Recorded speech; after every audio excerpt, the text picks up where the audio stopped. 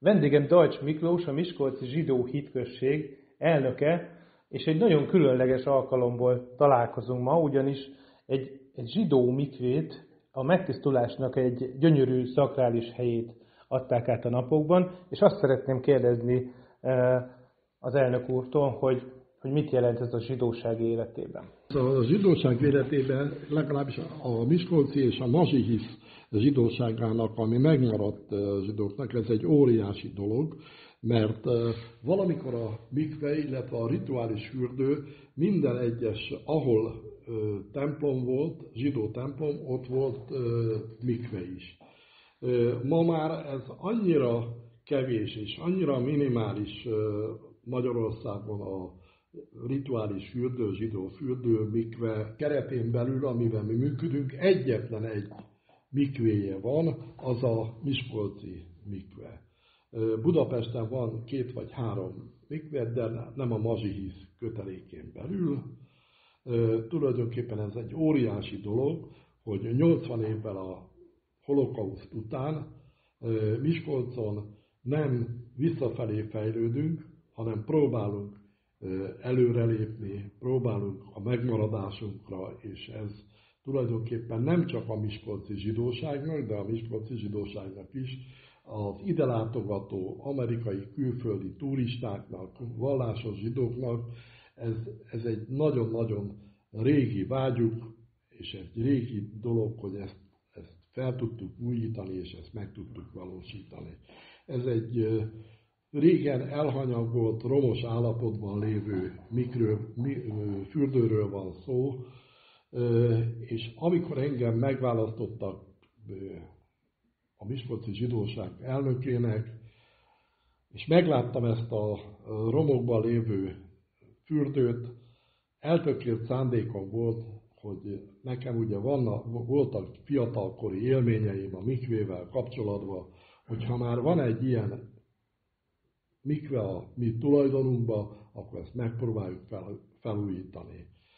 Ez nem kis dolog volt, mert, mert erre magának a hitközségnek nem lett volna anyagi fedezete. Ennek az anyagi fedezetét megkaptuk a magyar államtól, dr. Semmilyen Zsolt, miniszterelnök helyettes úrtól, aki, aki messze menően támogatott minket ebbe a dologba, hogy tudjuk újjáépíteni ezt a mikvét. És a mai beszélgetésünk tárgya a zsidó hagyományok. És azért választottam ezt a témát, mert ugye ennél aktuálisabb témát nem is elemezhetnénk a mai napon, hiszen a mikve, ugye, hát én ugye laikus vagyok, de tudomásom szerint az Isten és az ember között egy ilyen szakrális, új vallási közösséget teremt a megtisztulás által, és ha minden igaz, erről szeretném majd kérdezni Miklóst is, hogy gyakorlatilag a zsidó menyasszony és a zsidó vőlegény között is egy, egy teljesen új megtisztulási kapcsolatot hoz létre, ugye? Jól tudom? A vallásos zsidó fiataloknál az esküvőt meg sem lehetett tartani, anélkül, hogy ne, lett, ne lettek volna a mikvébe. A mikvét úgy, használ, úgy lehet használni egyedül, egy felügyelővel, amelyben van egy női felügyelő, és azon a napon csak nők használhatják, és ő ellenőrzi, hogy háromszor kell lemerülni a menyasszonynak, és avval ö, megtisztul. Ugyanez vonatkozik a vőlegényre is, természetesen egy másik napon, amikor ott is van egy ellenőrzés, ellenőrzik, hogy megtörtént-e a háromszori lemerülés. Lemerülés, igen. Lemerülés. Aha. E, tulajdonképpen több dologra ez a rituális fürdő e, ha visszamegyek az én gyerekkoromra, fiatal koromra, akkor 13 éves korban nálunk a fiúk bármicve férfivé avatás van. Nem mehetünk addig a rabink elé, míg a Talmud Tóra vezetője nem jelentette a rabinak, hogy igenis ez a gyerek, vagy ez a fiatalember, ez részt vett két-három pénteki alkalommal a mikvébe, és lemerült. Igazából ezt ez a tisztátalanítás a, a nőknél nagyon érdekes, mert a vallásos nők a menstruáció után utáni napon el kell, hogy menjen a mikvébe, és megmerül. Uh-huh. Tehát a menstruációs ciklus után ez is egy megtisztulás. Megtisztulás, így van. Igazából a, a vallásos emberek azok minden pénteken, pénteken úgy mennek, hogy délután, vagy rögtön ebéd után elmennek a mikvébe, és utána kezdik a, az otthoni öltözködést, és készülni a sábesztra. Na, és ha már itt tartunk így, most pont belevágtunk a lényegébe, hogy a sábesz mit jelent? A sábesz az tulajdonképpen a zsidó embernek a legnagyobb, egyik legnagyobb ünnepe. A legszigorúbb és a legnagyobb ünnepe. Ettől nagyobb csak a szombatok szombatja, a Jam Kipur. Péntek esti gyertyagyújtással kezdődik, utána a vallásos zsidók elmennek a templomba, hazamennek, csinálnak egy kidust. Szombaton, sábeszkor semmiféle munkát, semmiféle olyan, amit hétköznap végzett, semmit nem szabad.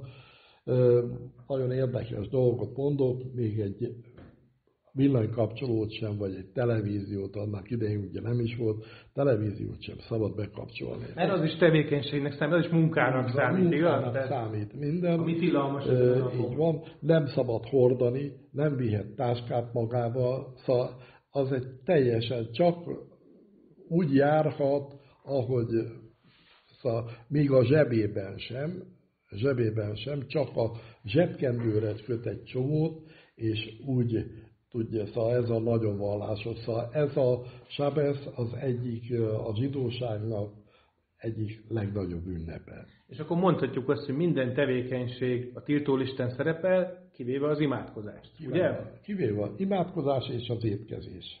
Értem. Hát ugye a legfontosabb dolgok hát ebben a sorrendben, igen. És hogyha már itt tartunk a hagyományoknál, szóba is hozta az imént Miklós ugye a volt, tehát hogy a, a szó, én úgy tudom, hogy a zsidó fiataloknál ugye az egyik legfontosabb, hát ha nem a legfontosabb ünnep? Egyik legfontosabb és, és a legfelemelőbb, mert a 13 éves korban, az legalábbis előtte már egy-két évvel, de, de minimum fél évvel elkezdik a fiatal gyerekek, fiatal emberek tanulni, mert ott meg kell tanulni. Meg kell tanulni a Tórához a bróket, meg kell tanulni a Himisből, arra az egyik imakönyvből e, azt a részt, azt a pulszigot, azt a részt e, elimádkozni, uh-huh. ami egy 13 éves e, fiatalembernek nem egyszerű. Ez tulajdonképpen az első alkalom, amikor fölhívják a Tórához, a Szenthez, és ezt, amikor fölhívták a Tórához, elmondja a Tórához a brókhét, ezt a vallási részletet, ezt a vallási részletet, amikor ennek vége, vagy megtörtént, akkor utána van egy, a család és a, a zsinagóga minden résztvevőjével adnak egy kidist, amin még a 13 éves fiú, mint felnőtté vált, onnantól kezdve ő beleszámít a minyembe, szóval ha kilenc ember van, a kilenc férfi, úgy nem tudunk imádkozni. De ha már bejön egy bármit fiatalember, akkor már megvan a minyem. Szóval akkor már lehet imádkozni. Ő már, te, így van, akkor már lehet imádkozni. Ő, ő már a 13 éves korban, ő már teljesen felnőttnek van a mi vallásunk. Én ugye csak kívülről szemlélem a bármicókat, de hogy itt ilyen nagy lakoma és nagy családi ünnepségek szoktak úgy jelenni. Ez egy, ez egy hatalmas családi ünnepség volt. Hát ha most én azt mondom, hogy ugye elég régen voltam bármicve, de az én bármicvem a Kazinc utcai zsinagóga zsinagógában volt, és közel 250-300-an vettünk részt. A, kiduson, szóval az egy, az egy óriási dolog, egy fiatalembernek, és ugye a mi akkori rabink tartott egy nagy beszédet, szóval az, az egy óriási élmény, akkor összejönnek nem csak a család, az összes rokonság, mindenki részt vesz, hetet hét országából eljönnek, hogy ott legyenek a bármicvén. De akkor mondhatjuk azt, hogy így, így felnőtté válik a bármicvón résztvevő fiatal, és egyúttal felnő Istenhez, tehát felnő ugye a vallásos zsidó férfi szerepköréhez? Hát azért, azért egy 13 éves fiatalember azért még csak nem felnőtt, de, de a vallásunkban az, hogy beletartozik a minyenbe, a teljes egészébe. Szóval... Ezt a ezt hogyan lehetne definiálni? Ez úgy, hogy mi, a mi, mi vallásunk csak úgy tudunk együtt imádkozni, hogyha megvan a tíz férfi. Uh-huh. És a tíz, aki elmúlt bár micve, és megvan. Tehát ő, az a tíz férfi jogosult, már együtt egy imádkozó közösség, zsidó közösség. Akkor, akkor tudunk szüleik után, bárki után imádkozni, hogyha megvan ez a minyen. És ezután, most így beszéltünk így néhány fontos ünnepről, és zsidó hagyományon belül a gasztronómiának is megvannak a sajátos, ugye, finom ételei, és ugye gyakran elhangzó kifejezés, én mint kívülálló laikus is értem a kósert, hogy ezek ilyen tiszta ételek a zsidó hagyomány szerint. Annyit, hogy utána, bevallom már Miklósnak, hogy utána olvastam így a dolgoknak, utána néztem, hogy láttam azt is, hogy van olyan étel, ami ugye nem csak, hogy nem kóser, hanem ugye a régi vallási hagyományok szerint is hát szigorúan tiltott étel, hogy vannak ilyen tilalmas ételek. Én annyit olvastam, hogy a, van ilyen, hogy tréfli, hogy ilyen tiltott húsfajták is vannak. Jó, úgyhogy akkor ez, ez hogy van ez a kóser, nem kóser étel? Tulajdonképpen a zsidó konyhán két fajta hűtő, két fajta szekrény létezik. Van teljes és van húsos. Össze nem keverhető. Megvan a, a teljes étel után húsost lehet enni fél óra múlva. Húsos után teljest hat óra múlva. Szóval csirkepaprikás nincs. szóval, és a másik az, hogy sertéshús egyáltalán nem kóser, azt, azt mi nem. A marhahús igen, de a marhának is csak az eleje. A marhát, ahogy a vágóhídon nem lehet úgy levágni, a satter nem vághatja úgy le, hogy, hogy le, rálőnek, és akkor ledül, hanem a marhát ledöntik, úgy hívják ezt, le kell dönteni. Van a ö, hosszú halef, bocsánat. halef, az is ha, ugye? Igen, ez egy hosszú halef, amivel tulajdonképpen a sakter a marhának a nyakát egy húzással kell, hogy elvágja és kivéreztesse. Ha ez nem sikerül, trefnyi. Gyakorlatilag ez is a kegyelemnek egy formája, nem? Hogy ilyen gyorsan, gyors halált okoz. Igen, és amikor ez megvan, és ezt jól sikerült ez a vágás, akkor a sapter belenyúl a torkán keresztül, és kiveszi, van egy olyan, hogy a tüdő, a tüdőt ki, ki tudja venni, és kivette a tüdőt, a tüdőről leszedi, van rajta egy ilyen hámréteg, azt le kell szedni kézzel, és fölfújja a tüdőt, ha nem szivárog, akkor kóser. Ha szivárog valahol és lukas, akkor trefnyi. A marahúst a vágóhídról csak az elejét hozzák be, a hátulja az trefnyi. Csak az elejét behozzák, hát itt már ugye hagyományosan amikor behozták, itt van a kivéreztetés, a hústról le kell minden egyes érdarabot, vagy eret, ki kell szedni. Ezt úgy hívják zsidó vallásban, a reinigolás, azt kiszedik azt, a, azt az eret, leöntik vízzel, beteszik egy sózó teknőbe, és két órán keresztül abba áll, és utána lehet lemosni, a sorról is lehet adagolni, lehet árulni a húsbotba. A szárnyasoknál, a szárnyasoknál egyszerűbb, ott elviszik, régen úgy volt, hogy elhoztuk ide a templom udvarán volt egy sakter, aki volt egy baromfi vágoda, és elvágta a nyakát, és kivette a gégét, rendben volt, akkor az kóser volt. Ugyanez volt a Libánál is, mert ugye az a, a zsidókról elnevezték ugye a libát, vagy a libahúst, biztos sokat ettük, és ugyan, ugyanezek a folyamatok voltak, és nem lehetett forázni, úgy letépni, hanem csak simán lehetett letépni, tépni a, a csirkét vagy a szárnyasokat. Ha így belegondolunk a nagyon jellegzetes zsidó ételekbe, akkor hát ugye én ilyeneket ismerek, ugye itt van a fólet, ami nagyon gyakori, aztán ugye a macesz gombóc jut még óhatatlanul az embernek az eszébe, meg néztem, itt ugye lehetne a flódnit is említeni, olvastam ilyet, nem tudom, ez mennyire kapcsolódik a zsidó ez a saksuka, ami a közel-keletnek a lecsóját is van, aki ide sorolja, nem tudom, hogy ez mennyire, de azt szeretném kérdezni Miklóstól, hogy mik a legismertebb zsidó ételek, és ezek közül esetleg melyik a kedvence? Hát a, leg, a leges legismertebb és a kedvenc az a sólet.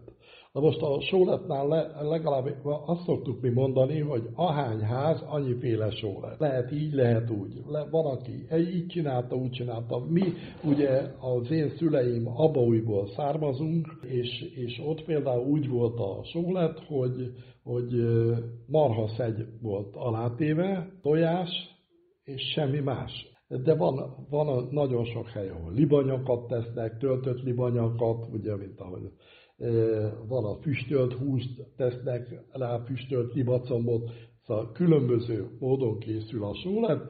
Ez, ez úgy gondolom, hogy minden zsidó életében, aki ezt élvezte gyerekkorában, csinálták, az mindenki emlékszik erre. Ez a leg... Klasszikus. Így van, ez a klasszikus, így van. A macesz gombóc, hát az, az tulajdonképpen az egy pészáki, ha azt mondom, hogy az egyiptomi kivonulás napjai, ami nyolc napból áll, szokták emlegetni, hogy a zsidó húsvét, nincs köze a húsvéthoz, de körülbelül egy időbe esik. Ilyenkor van a Pészákkor a Macesz gombóc. Mert ott is szigorú előírások vannak, hogy mit lehet és mit nem lehet azon az ünnepen enni. Akkor van a Pászka is. Még az jutott eszembe egyébként, ahogy beszéltük itt a sóletről, hogy Ugye a sóletnek ilyen aspektusból köze van ahhoz is, hogy szombaton ugye említette Miklós, hogy nem lehet, nem lehet főzni konkrétan, tehát hogy nagyon sok család itt akár még előre is készíthet sóletet, hogy ezt a főzési dilemmát feloldja. Igen. Na most tulajdonképpen azt tudom mondani a sólettal kapcsolatban, hogy ez régen úgy működött, hogy a zsidó családok pénteken meg elkészítették a sóletot, megfőzték, és péntek délután, például mi, ugye a búzatéren volt a Marinov pékség, kivették a kenyeret, ami megsült délelőtt, maradt a meleg kemence, és abba a zsidó családok elvitték a saját maguk sóletét. És ez, ez a sólet, ez ott azon a meleg kemencébe sült tovább. Másnap templomból hazamentünk, és az volt a program, 11 óra, fél 12 magasságában, hogy elmentünk a pékségbe a sóletért. és ha, ha már itt tartunk egy ilyen személyes élményt is megosztott velünk Miklós, akkor így a sok ünnep, amiről beszéltünk itt már, a bármisz volt, már ugye beszéltük, tehát, hogy mik a legnagyobb élményei gyerekkorában így a zsidó ünnepekkel, hagyományokkal kapcsolatban? Tulajdonképpen a legnagyobb élmény az a bármit. Azt nem lehet elfelejteni, de tulajdonképpen akkor az én fiatal gyerekkoromban itt a Miskolci zsidó templom udvarán, a Kazinc utcán volt 60-70 gyerek. Ugye mi egész nap, az ünnepek alatt egész nap kint játszottunk, még ugye bármit előtt, mert amikor már elmúltunk bármit, akkor már ben kellett ülni az apukánk mellett a templomban, az már nem volt annyira jó. Tulajdonképpen ezek, hát minden, ünnep, minden ünnepnek megvan a maga szépsége és a nehézsége. A legnagyobb ünnepeink az a Rájs Hasónó, az új év két napja, utána a szombatok szombatja, a Jam Kipur, hát az a legnehezebb nap, az egyik legnehezebb, úgy is hívják, hogy nagyon nehéz nap, mert egy 25 órás bőjt, amikor semmi nem érhet a szájhoz, egész nap, szinte egész nap a templomba, csak a templomba lehet lenni, az egy nagyon-nagyon nehéz. akkor ha szájhoz nem érhet semmi, akkor tulajdonképpen inni sem lehet? Nem. Hogy sőt, sőt, a nagyon-nagyon vallásosak még fogad sem mostak. Az. Az egy nagyon-nagyon szigorú. Hát már, már mi azért már egy kicsit, egy kicsit enyhébben, de, de inni mi sem ittunk.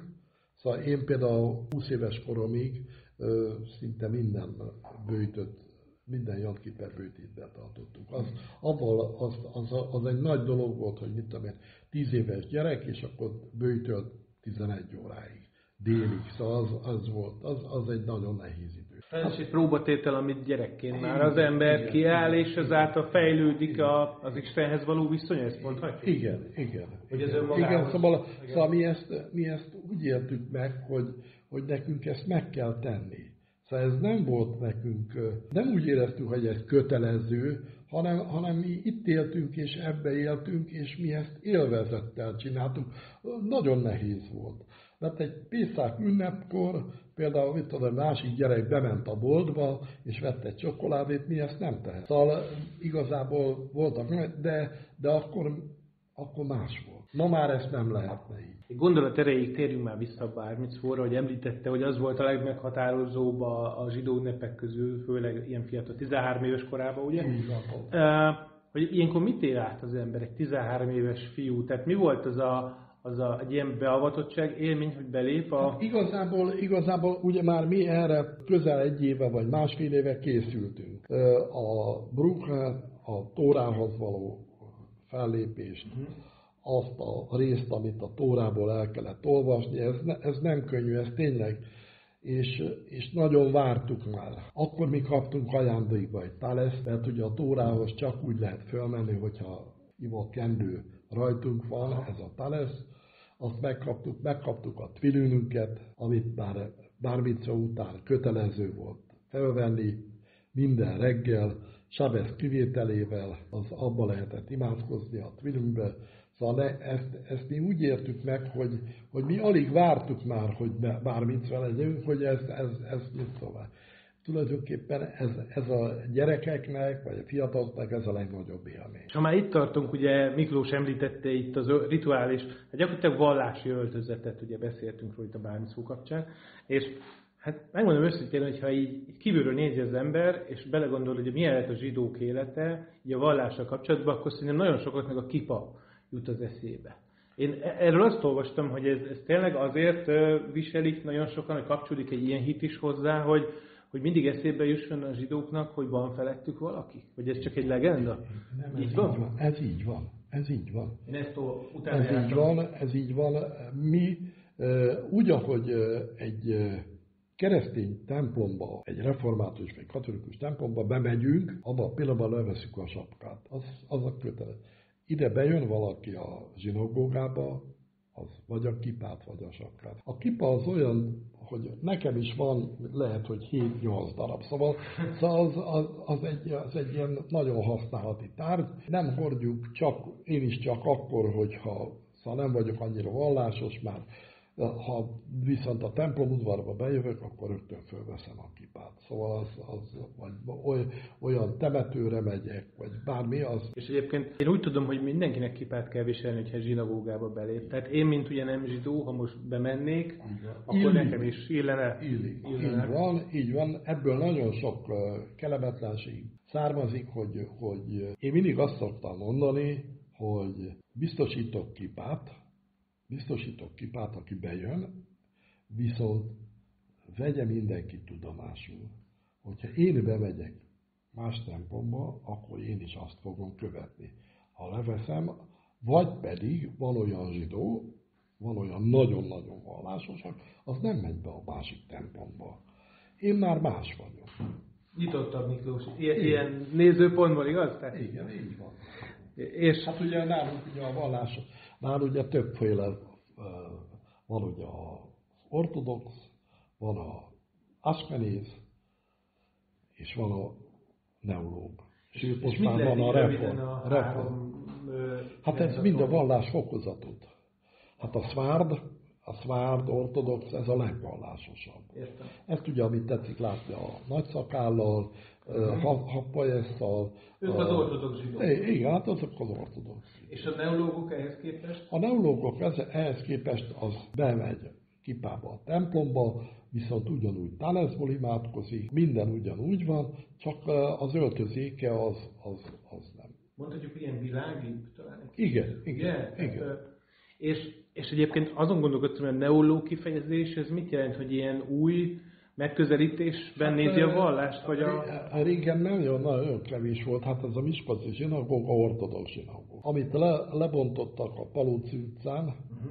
az volt az askenéz. Az, az mit jelent az az kevesebb, szóval nem, nem volt olyan vallás. És volt még, ezen kívül volt az Arany János utcán a Szefárd, az pedig nagyon-nagyon vallásos. Miskolcon egyébként, hogy kicsit rákanyarodunk a helyi vonatkozásokra, most jelenleg a 21. században, 2024-ben, ugye a felsorolt négy zsidó vallásszendélet közül melyik a meghatározó vajon? Neológ.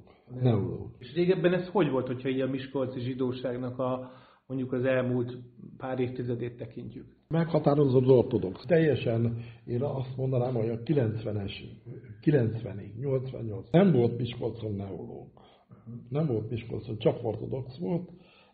A háború előtt volt, a, illetve volt a Szefárda, az még maradt a háború után, az Arany János utcán, az a nagyon-nagyon vallásos, de az 60-as évek végén megszűnt maradt a Kazinc utca, ez pedig ortodox volt. És hogy ezek között, a szemléletek között van átjárást? Vagy ezek ilyen belül, egy család meghatározza mondjuk? Talán, talán azt mondanám, hogy családi hagyomány, családi hagyományként, de ma már, ma már én ugye én egy ortodox családból származom, de ma már én is neológ vagyok. Szóval nem biztos az, hogy tudjuk és akarjuk azt a szigorú vallási előírásokat betartani, mint amit régen betartottak. Nem is biztos, hogy lehetne. De akkor mondhatjuk azt, nem akarok butaságot mondani, de egy kicsit így nyitottabbá, világiasabbá vált a mondjuk az önszemlélete, vagy a neológoknak a szemlélete így, zsidóságon belül? Így van, így van. Ha megnézzük, mondjuk, a, amit még nagyon meg szerettem volna kérdezni tényleg, hogy ugye a rabbiknak a szerepe az mit jelent a zsidóval? Hát, tulajdonképpen a rabbiknak a szerepe Ugye a hitközségen belül van a vallási vezető, az a rabi. A világi vezető, az pedig az elnök. A rabinak a feladata tulajdonképpen Isten őriz halálesetnél, születésnél, esküvőnél és a zsidó embereknek az összetartás. Ő, nálunk ő az előimádkozó, ő imádkozik, ő olvassa a tórát, tóraolvasás, azon kívül minden egyes alkalommal a beszédek, péntek este, a tóra magyarázat, ezek tartoznak hozzá tulajdonképpen. Bármilyen ünnepség van, az övé az elsőség, ő vezeti az ünnepségeket. Még azt hagyd kérdezzem meg, hogy Miklós hogy látja a mostani Miskolci zsidóság élete, milyen, hogyan lehetne jellemezni, mennyire vannak gyakran ünnepségek, ugye találkozók most jelenleg. Nagyon nehéz összetartani, mert a háború után Miskolcról 16.200 embert vittek el a holokauszba, annak kb. 12%-a jött vissza, na mindegy, az sem maradt Miskolcon, nagyon sokan Izraelbe, Amerikába, Budapestre költöztek, és, és nagyon sok a vegyes házasság és, és ezáltal a vegyes házassága már egy picit, maga a családok már nem lehetnek olyan vallásosak. Mert egy vegyes házasságban lévő vagy férfi, vagy nő, vagy fordítva, akárhogy, de már, már az egyik félnek... Már kevésbé vallásos, mint mondjuk az eredeti, mondjuk egy ortodox zsidó. Így van, így van, így van. Nagyon sok, és, és ezáltal, ezáltal nincs az a nagy vallásosság, viszont, viszont van egy, egy törzs közönség, törzs, aki azt szeretné, hogy ez maradjon meg, járunk a templomba hétfőn, csütörtökön, pénteken, sabeszkor, és mi még ragaszkodunk ahhoz, hogy ez, ez így legyen. Miklós, nagyon szépen köszönöm ezt az értékes és tartalmas beszélgetést, és köszönöm, hogy egy kicsit betekintést nyerhettünk így a zsidóság kultúrájába és ünnepeibe. Én köszönöm a meghívást.